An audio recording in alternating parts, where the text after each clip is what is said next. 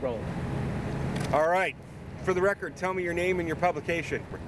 Matt Thurber, Aviation International News. You just got out of the A29 Super Tucano, aka the EMB 314. First reaction? Fun.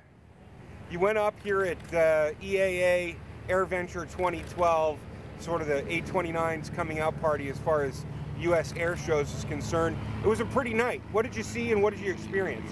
Well, I sure am lucky to get to fly such a cool airplane, especially out of greatest air show in the world.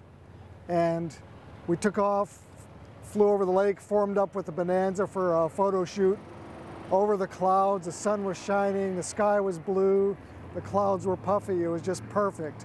And the airplane handles fantastically.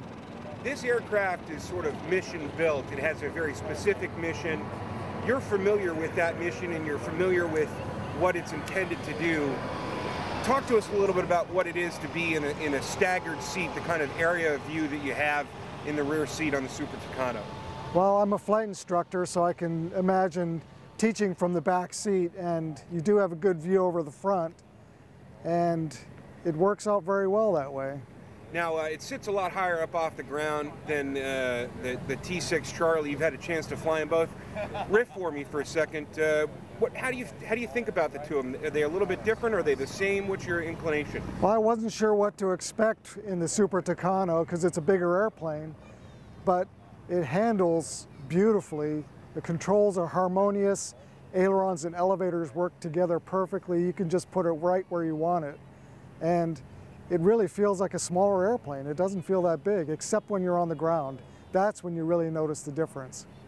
One of the things that people have said to me, and I'm not a, a flight instructor or a pilot, is that the 1600 shaft horsepower engine, the Pratt & Whitney that's on both of these two aircrafts, uh, the AT6 and the, and the A29, that somehow this one just doesn't have any throttle uh, issues. They just get more of the horsepower with a longer empennage.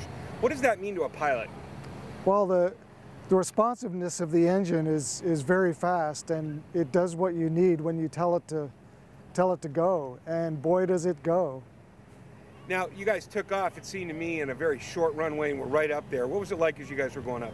Well we rotated about 100 knots, lifted the nose off the ground, it just flew off flew off by itself just beautifully, nice and easy. I didn't have to tell it to do anything. I just I just basically let it go and it climbed really fast.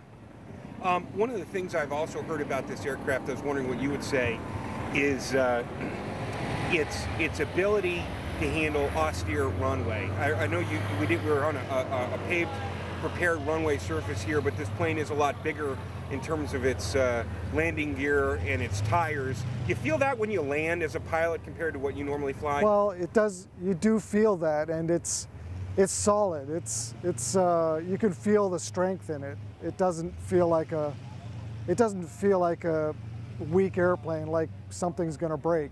All right, we appreciate your time. Is there anything else you want to tell me, just you know, from your experience having gone up uh, up in the aircraft? Yeah, I'd like to fly it some more. All right, thanks, Matt.